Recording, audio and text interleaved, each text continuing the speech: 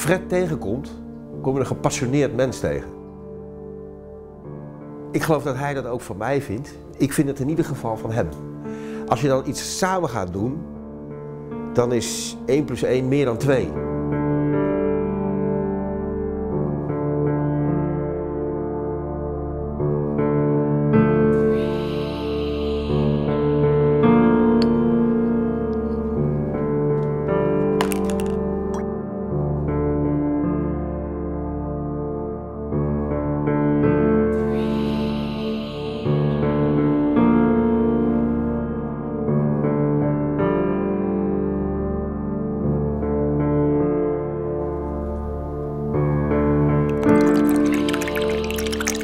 Kijk naar schilderijen van Poen die gaan over mijn werk? Ja, ja heel vreemd. Ik hou er sowieso niet van om naar mezelf te kijken eh, op, op beeld. Dat vind ik verschrikkelijk. Ik, eh, ik, ik, ik, heb geen minderwaardigheidscomplex, integendeel. Maar ik, vind, eh, ik heb een, een beter beeld van mezelf als ik niet in de spiegel kijk dan wanneer ik wel in de spiegel kijk. En ja, Poen schildert je dan toch vanuit hoeken zoals je jezelf niet ziet. En dan denk ik, ben ik dat? Fred speelt met poppen, maar noem hem in godsnaam geen poppenspeler. Hij is een theatermaker. Hij noemt het soms, noemt hij het cabadrama. Ehm, het is heel moeilijk om zijn kunst te vangen. Het is intiem, het is klein, het is niet geschikt voor de grote zaal. Het is geschikt voor de kleine zaal. Hij speelt in zijn eentje een heel gezelschap. Met allemaal pop, hij grijpt van het ene naar het andere. En dat lijkt wel alsof hij een soort multipersoonlijkheidssyndroom heeft. Hij grijpt van de ene psyche naar de andere. Allemaal verschillende stemmen, allemaal verschillende geluiden. Dat is fascinerend. Ze vragen me zo vaak, eh, doe je dat voor een spiegel, wat je doet? Omdat ik natuurlijk in theater uh, personages tot leven breng waarvan mensen altijd het gevoel hebben van, nou, het is gewoon levensecht. Uh, als ik een baby tot leven breng, dan zeggen ze, heb je zelf ook een baby? Of heb je zelf ook kinderen of gehad? Nee, dat heb ik niet. Dit is absoluut uniek wat Fred laat zien. En hij heeft ooit verzucht van, ik wou dat er iemand zou zijn die dat vastlegt. Op een schilderij, in een boek, op foto's. Maar kennelijk ben ik degene die dat dus vast moest leggen, moet leggen. En uh, ik, vind, ik, vind dat, ik vind dat dit bewaard moet worden voor de eeuwigheid. Dit moet absoluut behouden worden. En uh, omdat ze in toekomstige generaties kunnen zien wat deze unieke figuur deed. Fred goochelt met handen. Soms blijkt er ineens een derde hand te zijn, soms is het zijn eigen hand. Je wordt in feite door Fred continu in de maling genomen. Als ik denk aan bijvoorbeeld de scène met de, stille man, zo noemen we die, hè, Carmichelt. Dat is een scène van een man aan een tafel gezeten die, uh, uh, die wordt bezocht door mij. Ik zie die man altijd zitten aan een tafeltje en, en, op een dag ga ik naar binnen en ik ga naast hem zitten. En ik zeg, is het gepermitteerd dat ik even bij u aanschuif? En dan komt die man tot leven vanuit een oertempo, bijna vanuit nul, vanuit stilstand. Ja, goed. Wat een weer hè meneer? Wat een weer.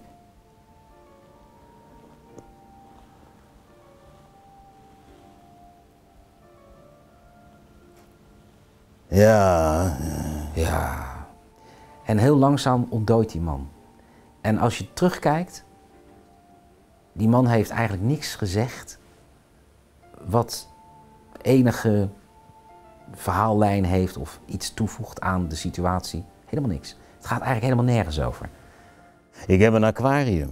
Een aquarium? Wat leuk. Wow. Wat voor vissen zitten erin? Geen vissen. Geen vissen? Nee, want die vissen die gaan altijd dood. En dan gaan ze drijven. En daar ken ik niet tegen. En tegelijkertijd gaat het over het hele leven. Gaat het over macht, onmacht, eenzaamheid, domheid, allemaal. Maar dat ontstaat bij het publiek, die conclusie, en niet bij de speler. Niet bij de manipulator, niet bij de pop, niet bij mij. Nee, dat ontstaat bij het publiek. Bent u getrouwd? Bent u getrouwd? Wow. Kinderen? Mm-hmm. Ja. Ja.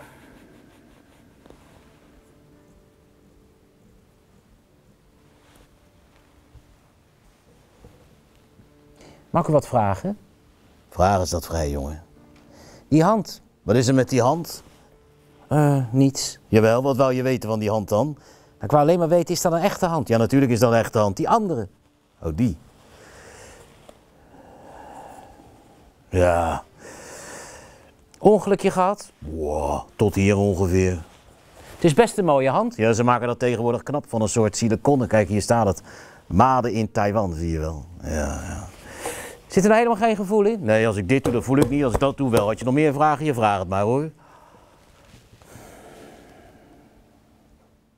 Op een goede dag, ik was 25, stapte Fred mijn atelier binnen. Knulletje van 13. Zo'n pubertje, zo'n stuiterbal, die niet te sturen is. Ik wil schilderles. Hij kwam met een paar anderen mee, hij had ervan gehoord. Hij heeft hier drie, vier, vijf jaar, dat weet ik niet meer precies, heeft hij hier tekenles gehad bij mij. Eh, ik heb nooit het gevoel gehad, ook toen niet, dat ik verder wilde gaan in mijn leven als beeldend kunstenaar of als eh, schilder. Of, eh, dat, gevoel heb ik al heel snel niet gehad. Ik heb veel meer het gevoel gehad vroeger dat ik wel iets met kunst wilde, maar dan eerder in de richting van theater of film of eh, eh, zeg maar het podium wilde ik op. Maar ik hou nog steeds heel erg van schilderijen. Alleen ja, god, ik, ik kan, en tekenen doe ik ook nog wel eens. En ik kan ook wel best wel een beetje tekenen. En dat, dat kunnen tekenen is niet iets wat Poen mij geleerd heeft. Maar hoe je omgaat met dat talent, dat heeft hij me geleerd. Want als je geen talent hebt, dan heb je ook niks aan Poen hoor. Uiteindelijk is Fred natuurlijk een, eh, een eh, acteur geworden, een theatermaker. En hij vertelt er nog wel eens over wat hij, wat bij mij geleerd heeft en wat hij in het theater gebruikt. Onder andere de- het begrip kernschaduw, daar heeft hij het vaak over. Daar heeft hij mee te maken in het theater met de belichting. Terwijl ik hem dat in het leven schilderen heb, eh, he- heb geleerd. Het- De, het magisch van het licht. En eh, ja, dat, dat is in de voorstelling ook zo. De kernschaduw heeft me geleerd wat een kernschaduw is. En dat is in theater ook heel belangrijk. Als de kernschaduw in het gezicht mooi is en, en met door, door tegenlicht eh, en, en frontlicht met elkaar zodanig in balans te brengen, krijg je kernschaduw en daardoor krijg je diepte in het beeld. Mijn naam is Antonio Salieri, geboren 1750, gestorven overal te voor staat de keer Behalve? Doe die lamp aan. Die lamp als en als het hele Als u mij is. denkt te kennen, dan kent u mij als de moordenaar waar ik van niet Mozart. tegen kan, is. Ga ik maar lekker tegenaan. Ik ben een man alleen. Giftig, Mozart heeft mij vermoord. Ik zeg het u eerlijk, ik ben op zoek naar een Het band. enige wat ik zeker weet. Wat doe je dan? Een man alleen op zoek naar een band. Je gaat naar een videotheek, opera's niet meer Ze werden overal in Europa gespeeld. Van flatgebouw, Kopenhagen 25 tot etages hoog en ik heb nog steeds geen uitzicht. Moskou. Wat leuk meneer dat u daarna vraagt. Ja, kijk, het is namelijk zo. Bij de toilet hier in Den Haag is het gewoon goed voor Hoor je Nee, dat zweer ik. Ik ken ze allemaal van Wat kleur is meester? Van de laatste Ze gooiden van blijdschap en moed Dat dat is geluid zijn. Welk geluid? Hij is de Wat weer zo'n voor meneer. Ja, die ziet zoveel tegenwoordig. Chunky. volgens mij. Ik weet het, ik weet het. Het is, het is mijn meester. Ik ben jouw meester, Sancho. Nee, nee, ik bedoel mijn echte meester, Don Quixote. En dan gaan ze drijven. Sancho. En daar ken ik niet tegen. Is dat nou wel maar meester, Jouw meester bestaat niet. Ik heb besloten om een compositie te maken. Jouw meester is van inkt en van er papier. geschreven is. Maestro, ik denk dat Net zo min als jij bestaat. Sancho. bedoelt u dat ik hier Pak niet en noteer. Maestro, ik. Noteer, Maar, Mozart. maar, maar maestro, ik is dat dit dan niet mijn stem? niets te Nee, proberen. Sancho. Ik vraag alleen maar of je wil niet noteren. maar is dit dan niet mijn hand? Nee, Sancho.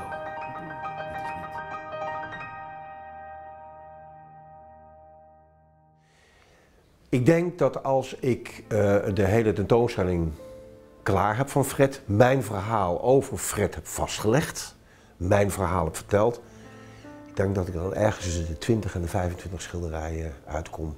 Met de voorstudies erbij, die onderdeel zijn van het proces. Iedere schilderij begin ik met een krabbel. Ergens een idee in je hoofd, een beeld wat ergens gaat broeien. In dit schilderij zag ik ineens Fred op, de, op het Hofvijverconcert. Vorig jaar. En hij heeft daar zijn act met de baby opgevoerd. En hij deed dat in een regenjas. Ik vond het een fascinerend moment dat hij in die regenjas daar liep. De koningin keek naar hem. Hij stond daar als een beetje zwerver. Klaar met zijn feestje. Dat beeld, dat heb ik in een krabbel vastgelegd. En op een gegeven moment gaat die omgeving daar in een tweede krabbel omheen groeien. En dan krijg ik een beeld van, hé, hey, verleden, heden, toekomst. Dat wordt dan vastgelegd. Uiteindelijk leidt dat naar een uitvoerige tekening, waarin al de dingen worden ingevuld en kom je uit op dit schilderij. Dus de voorstudies, die spelen een belangrijke rol in de tentoonstelling. Het verschil tussen een, een, een schilder en een theatermaker is dat de een is voortdurend bezig iets te maken wat blijft. En de ander is voortdurend bezig iets te maken wat verdwijnt. En iets wat blijft, uh, iedere theatermaker zou willen dat wat hij doet die avond, en het was goed, het was mooi, dat het blijft. Maar het blijft niet. Dat is de schoonheid ervan. Tegelijkertijd moet je er niet aan denken dat je over twintig jaar zit te kijken naar iets waar je twintig jaar ervoor heel erg achter stond. Dat is dan de, de, de, zeg maar de, de spanningsveld wat een schilder of wat Poen weer heeft. Dat heb ik als theatermaker niet. De vluchtigheid van het werk uh, laat het ook toe dat je uh, uh, minder universeel kan reageren op je omgeving. En Poen is een schilder die universeel schildert. Hij probeert in dat ene werk, in dat ene doek, probeert hij meer dan alleen maar een tafereel neer te zetten. Hij probeert ook een, een, een, een verhaal te vertellen in dat doek. En dat verhaal, daar, ja, dat mag geen open, open vraag zijn bij Poen. Dat moet een harmonie zijn. Dat moet eh, een balans zijn met de beelden die je ziet en het, e-, de emoties die het oproept. Zodat het ene doek een begin, een midden en een einde kent. En dat heb ik natuurlijk in mijn werk niet. Het, over het algemeen in zijn voorstel misschien een midden, of een begin, een midden en een eind. Maar het zit vol met jaten en vol met, met pijn en, en ellende. Tot het moment dat je dat weer goed kan maken. Ik denk niet dat het schilderij Abacadabra is voor iemand die Fred niet kent. Dan zie je een man in een regenjas, met een pop en een hond. En dan kan jouw eigen associatie kan daar een verhaal over vertellen. Waarom staat die man met zijn handen in zijn haar? Is hij vertwijfeld? Komt hij van een feestje af? Wat doet die pop daar? Heeft hij er ergens uit een vuilnisbak gevist misschien? En die hond, is dat een trouwe makker? Daar begint het verhaal. En dan kan dat verhaal uitdijen. Kijkt hij naar zijn eigen leven? Wat doet dat raam daar? welke kerk is dat? Cervantes, de schrijver van Don Quixote. hey, heeft iets met Don Quixote te maken. Nou, dat zou het zwaard van Don Quixote kunnen zijn. Op die manier kan iemand het beeld, ook al ken je Fred niet, langzaam maar zeker tot zich nemen.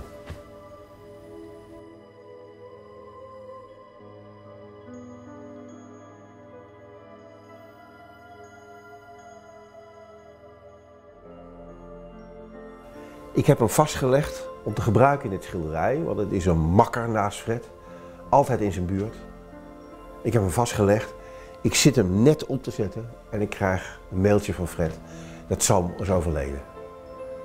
Dus in die zin zit het verleden helemaal vastgelegd al. Dit schilderij is in feite al geschiedenis. Kijk, Sam was een, dat zal iedere baas over zijn hond waarschijnlijk wel zeggen, maar Sam was echt een hele bijzondere hond. Sam was een mensenhond. Sam ging overal mee naartoe. Toen, Sam, uh, toen ik Sam moest laten inslapen, toen kreeg ik ook via die social media uh, 82 uh, reacties vanuit de theaters in Nederland en België. Gecondoleerd. Wat erg, we zullen Sam eh, altijd herinneren. Sam was er altijd bij. Hier ligt een heel klein stukje bladmuziek. Dat verwijst eigenlijk naar een van zijn grootste acteerprestaties. Dat is Mozart en Salieri. De tegenstelling van die twee figuren die zet hij neer. De jaloezie tussen die twee mensen. en wat ik geschilderd heb uit, wat ik onder andere geschilderd heb uit Mozart en Salieri, dat is hoe Fred verandert van Fred Delfgauw, die zijn bril afzet, die zijn baard afscheert, die zich langzaam zijn haren wit maakt, zijn gezicht wit maakt, en je ziet hem langzaam, stapje voor beetje, zie je hem veranderen in Antonio Salieri. Die nog verder gaat in de verandering, want hij wordt in de loop van zijn leven, wordt Salieri volkomen waanzinnig.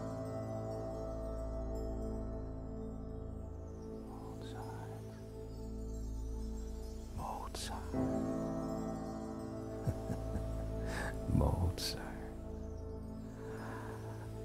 Mozart. Mozart. Mozart. Mozart.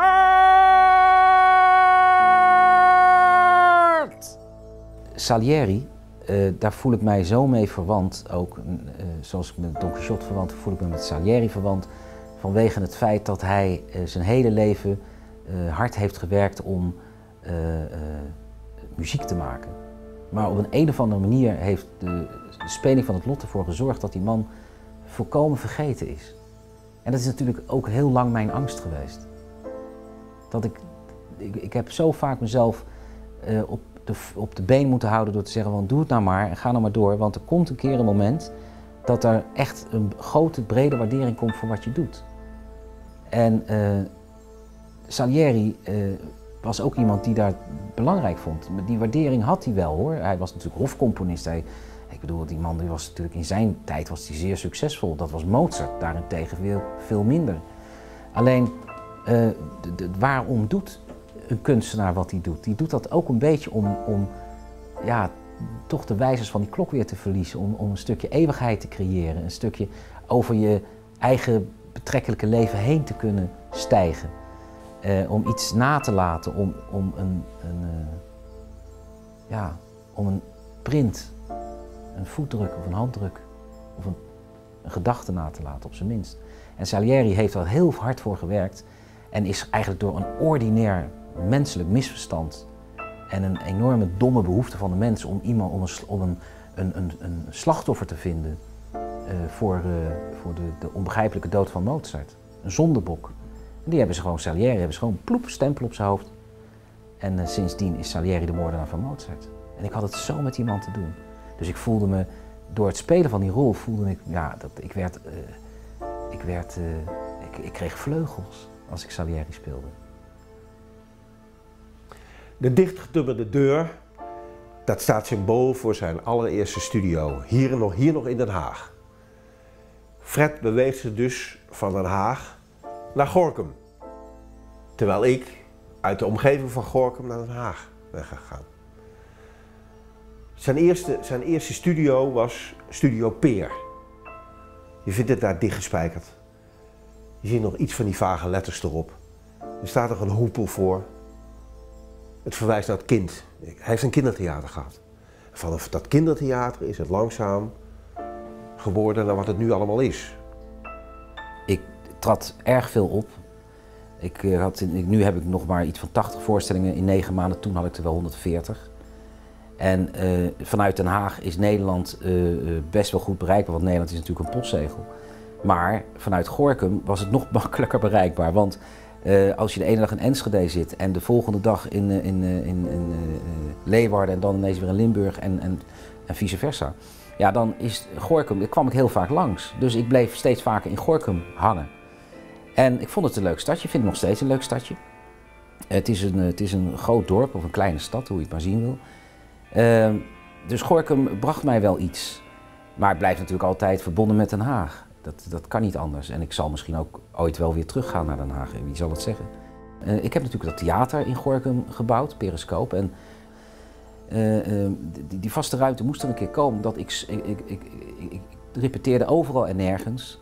Ik had veel onrust. ik, was natuurlijk best wel s'avonds uh, optreden, overdag commercials inspreken en Disney-films, ontzettend veel Disney-films ingesproken. En dat, dat, dat geld, wat ik daarmee verdien, daar wilde ik ook iets mee doen. behalve belasting betalen, wilde ik vooral ook dat er zoveel mogelijk geld naar, de, naar de cultuur zou gaan, naar de kunst. En dus kreeg ik het idee om een theater te gaan bouwen of, of vestigen. Uh, zonder dat er een subsidie voor nodig was vanuit de overheid. En dat heb ik gedaan door jarenlang, bijna 13 jaar, die commercial inkomsten en die Disney filmpjes, dat geld wat ik ermee verdiende, te doneren aan een stichting. Net zolang totdat ik voldoende geld had om het theater te bouwen. Nou, toen kwam er een gebouw vrij in deze stad in Gorkum. Uh, uh, wat wilden ze slopen of appartementen? Er was een discussie gaande. En toen zei ik tegen die wethouder, joh, als ik een gedeelte daarvan een oude gymnastiekzaal zou kunnen huren, dan richt ik dat in als een theater. En uh, dan maken wij de afspraak ook dat ik nooit op subsidie zal komen zeuren. Fred schrijft als een, als een stukken zelf. Maar hij schrijft ook gedachten, filosofieën. Hij heeft een serie pleidooien ooit geschreven. En een van die pleidooien heb ik geschilderd. Ik heb het als het ware in steen gehakt. Het is het pleidooi van het behouden, dus ik heb het op een dubbele manier behouden. Ik heb het in steen uitgehakt en het gaat duizenden jaren mee. Hoewel het een schilderij is, die ook wel duizenden jaren meegaat. Het is een soort symbool. Pleidooi voor het behouden. Wat het belang is om dingen, ook al begrijp je het niet, vast te houden voor later. Pleidooi voor behouden. Als je het niet begrijpt, onthoud het dan tenminste, zodat er later iets te begrijpen valt, als de tijd rijp is. Daarom scheppen schrijvers hun waarheid in verhalen, vormen kunstenaars het beeld, spelen spelers het spel. Theater en doeken, film en boeken, de handvatten voor het geheugen, de waarheid van mond als leugen, de kunst van het leven, de verhalen, de herhaling, om te zien wat je toen niet zag. Ik ben eerder geneigd in richting van het klassieke op te zoeken dan het moderne. Ik hou wel van een, van een beetje moraal en romantiek en harmonie. Die kun je het beste voelbaar maken als je laat zien wat er gebeurt als het er niet is. Ja, Don Quixote. Uh, kijk, Don Quixote is niet voor niets dat ik daarvoor gekozen heb. Don Quixote, daar voel ik me wel een beetje mee verwant. Hè? Ik, ik voel mij een ridder die in een wereld leeft die niet in ridderlijkheid gelooft. En dat is Don Quixote natuurlijk bij uitstek. Of het had misschien ook veel verstandiger geweest om iets anders te doen in mijn leven. Uh, met al mijn talenten, dan theater maken.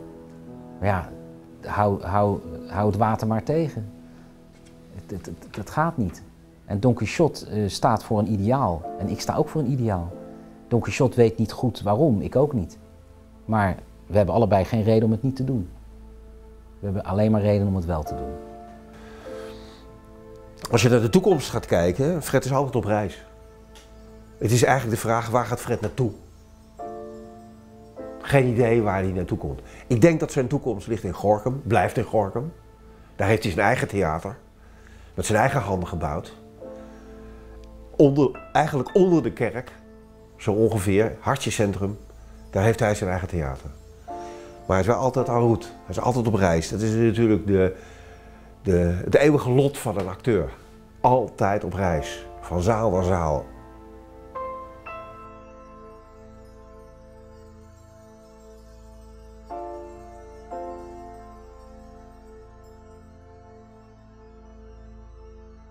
Ik denk dat Fred zijn handelsmerk, dat dat de act met de baby is. Het is een gewone pop, gekocht op de rommelmarkt. Die brengt hij tot leven. En, dat baby, en die baby die is van een leuk kind veranderd in een monster. En dan wordt hij er zo agressief van dat hij er vermoordt.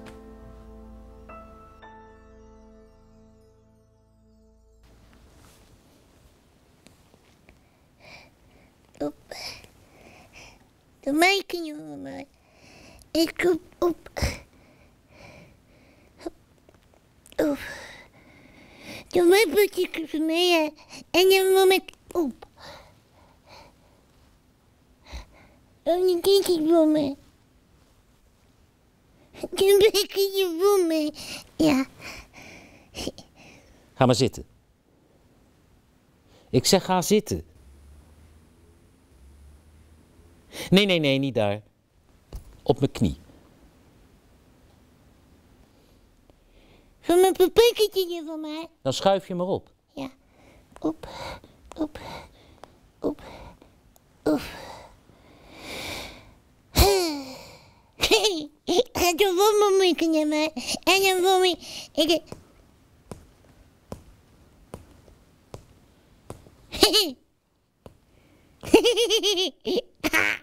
Ik heb zo hoor. Momo nini na na no no ni. Hé.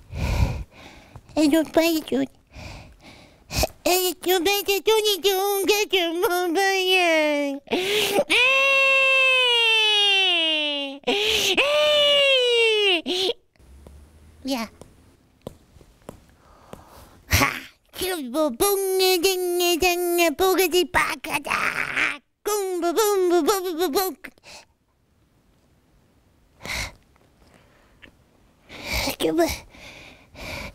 Am I doing? What you doing? What you doing? You boogie come on, you boogie come on, you.